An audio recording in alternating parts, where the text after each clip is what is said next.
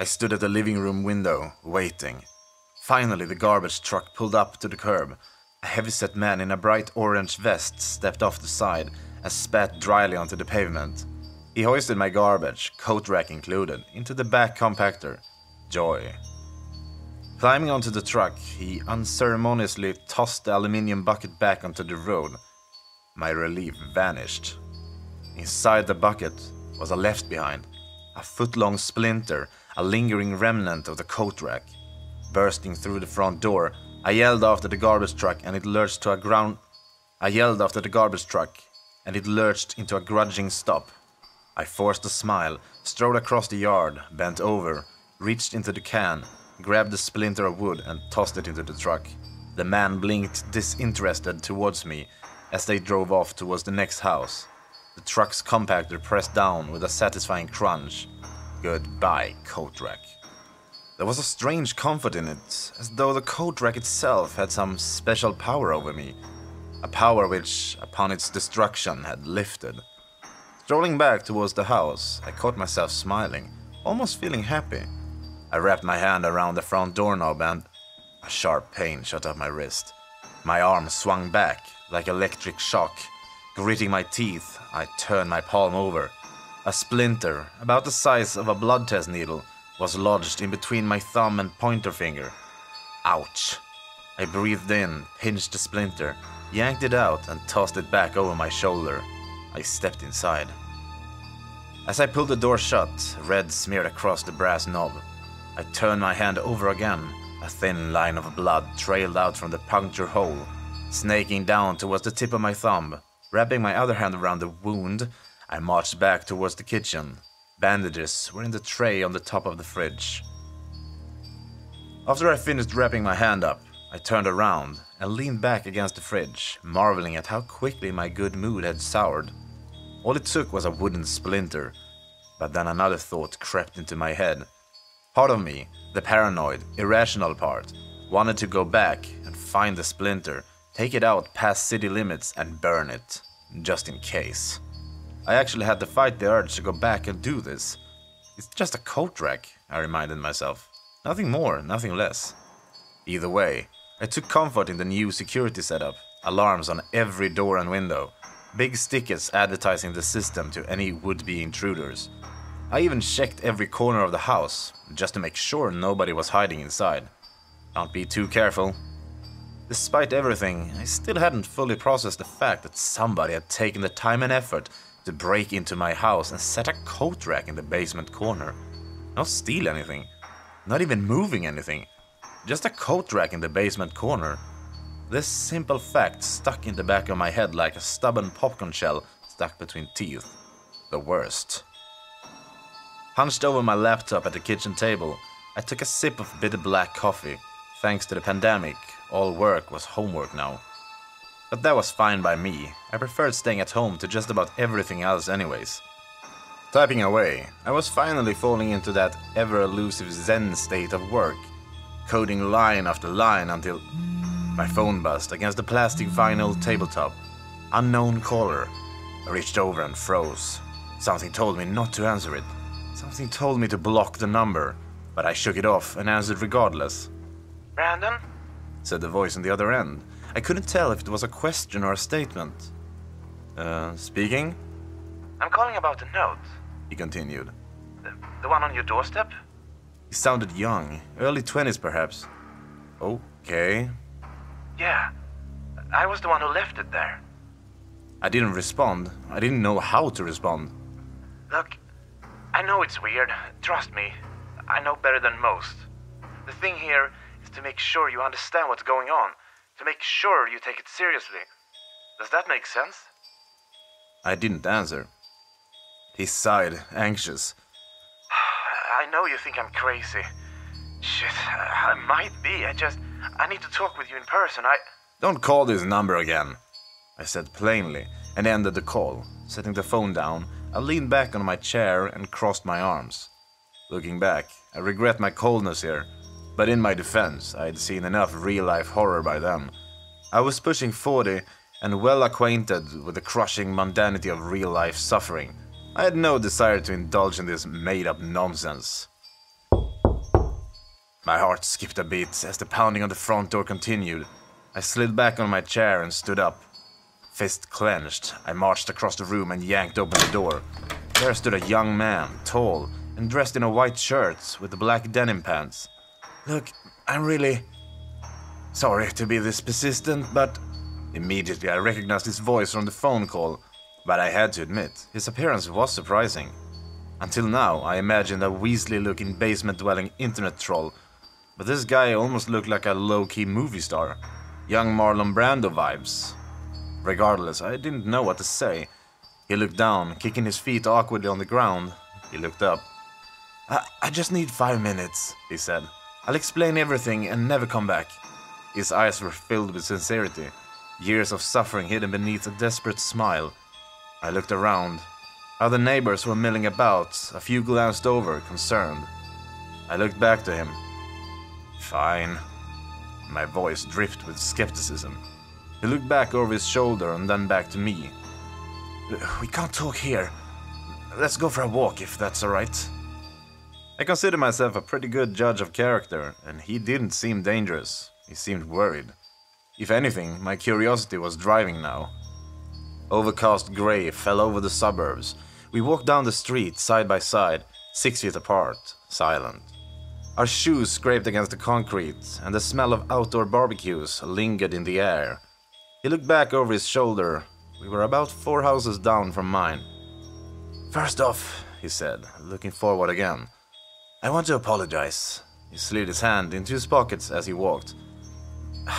I don't really know the best way to approach something like this. I'm sorry for being so cryptic. I grunted, non committally. Second, I really don't expect you to believe me. Unless I saw something firsthand, I wouldn't believe me either.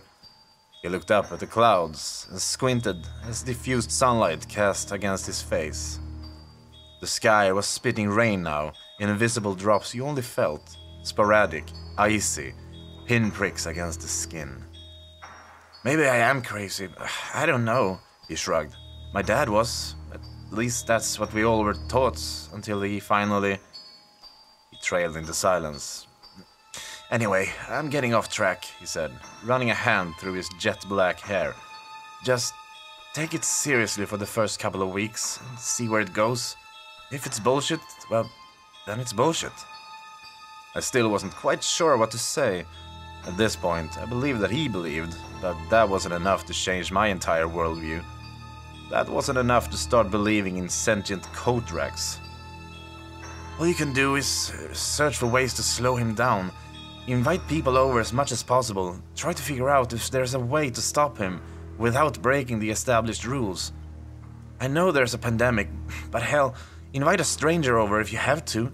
It should at least buy you some time. Who lives in your father's house?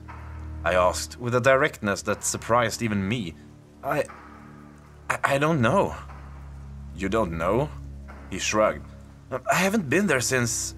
Again, he trailed off into silence, grimacing.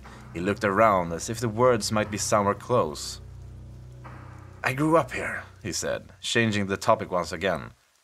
My sister and I used to collect pine cones in the park. He pointed across the street.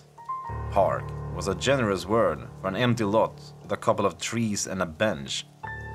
We would sell them to the neighbors. He almost smiled. Pine cones with googly eyes glued on them, five cents apiece. He shook his head, like a chill went down his spine. Look, you've just gotta take the rules seriously.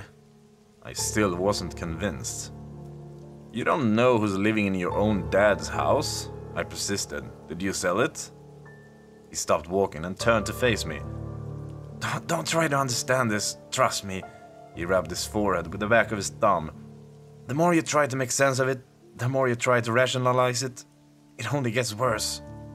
Sounds like a death cult mantra. Sure. You have my number, right? I nodded. If anything happens, if you have more questions, just call me anytime. Seriously, anytime. Four in the morning if you have to. I don't care. Okay. It's Mitchell, by the way. Just Mitch is fine too. He gave a little wave, turned away, and strolled off down the street, leaving me even more confused than before. Worse than that, part of me was beginning to consider the possibility that this might actually be real. A possibility made all the more disturbing due to the fact I'd already broken nearly every single rule. Classic horror movie fuck up. Either way, his sincerity was unsettling. By the time I got back home, it was already dark out. I stood at my front door, rifling for my keys when. Brandon? A familiar voice called out from behind. I turned back to see Howie, standing on the curb. I almost didn't recognize him at first. He wore a blue tracksuit with a blue pencil tucked behind his ear and blue headphones wrapped around his neck. This guy really liked blue. Howie? I said. Neighbor's kid spoke to you, huh? He rested his hands on his hips. I nodded. What'd he say? He shrugged. Same stuff as the note. Howie shook his head, as if to say, I expected as much. Poor kid, he said. At least he'll stop bugging you now. Yeah. Just then, beside the house across the street, the outdoor motion light snapped on. Odd. Howie looked back to see what I was looking at. Through the cracks in the fence, a line silhouette stood up against the boards. It was hard to tell from the distance, but it almost looked like somebody was standing there, watching us peering through the fence cracks, motionless. But the yard was filled with junk, so it could have been anything. Anyways, he started pulling up his headphones and turned away. Who's living there now? I said. Howie froze, lowered the headphones, and turned back. Uh, uh, not sure. They never sold it? Nope, not to my knowledge. So, it's empty? I've seen someone, maybe a few someone's milling about inside. You seen them outside? Howie tilted his head, thinking. He clearly never paid much attention to it. Uh, I don't think so, but I got goldfish memory these days. He chuckled, shrugged, reached to pull his headphones back on, and. Oh! His face lit up. I've been stuck on this. He pulled a crumpled piece of paper out of his jumpsuit pocket and read. A thin piece of metal which glows brightly when a current passes through. He looked up at me, eyes filled with hope. Eight words across. First letter F, third letter L. The light across the street snapped off, and the light inside snapped on. Window blind shadows cast from inside as someone moved across the living room, a drifting silhouette. Brandon? Filament, I said, eyes still locked on the house across the street. Howie scribbled away. That's it! My god, that's it! He sounded like he'd just won a thousand bucks. He looked up at me. You're brilliant! I looked back at Howie. Glad to help. Anyways, said Howie, enthusiasm suddenly gone. See you around. He pulled his headphones up and jogged away. I stood there, watching the house across the street. The light inside was still on, but no more movement. I turned back to my door and stepped inside. Pulling the door shut behind me, I strode into the living room and stood at the window. The house across the street was dark again. Okay. I pulled the curtains shut and turned back to the kitchen. I sniffed. The strange smell of gasoline and burnt hair lingered in the air still. Subtle, but unmistakable.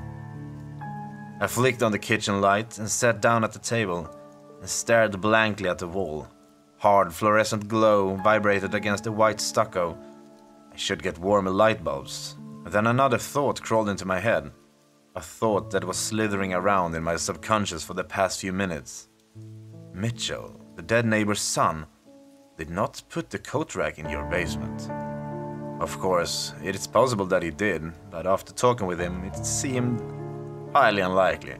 And this raised another, even worse question Who put the coat rack in the basement. Howie? Doubtful. Another neighbor? Possibly. The person or the persons living across the. The sound of a door popping open interrupted my thoughts. I looked back over my shoulder across the living room. In the front entrance hallway, the basement door was open. Just a crack, a thin line of darkness. Fuck it. I marched upstairs, grabbed my switchblade from the bedside table, and stormed back down, each footstep heavier than the last, knife clenched in my left fist. I swung open the basement door and flickered on the light. I'm armed, I said, trying and failing to sound like a threat. If anyone's down here, Make yourself known now. Silence. Nothing but the hum of bustling light bulb. I took a deep breath and exhaled. Okay, I whispered, taking a slow step forward. I used to mock people in horror movies for always going down into the basement, but in the moment, it weirdly felt like my best option. It was that, or leave the house, or try to sleep while knowing that someone might be hiding in the basement.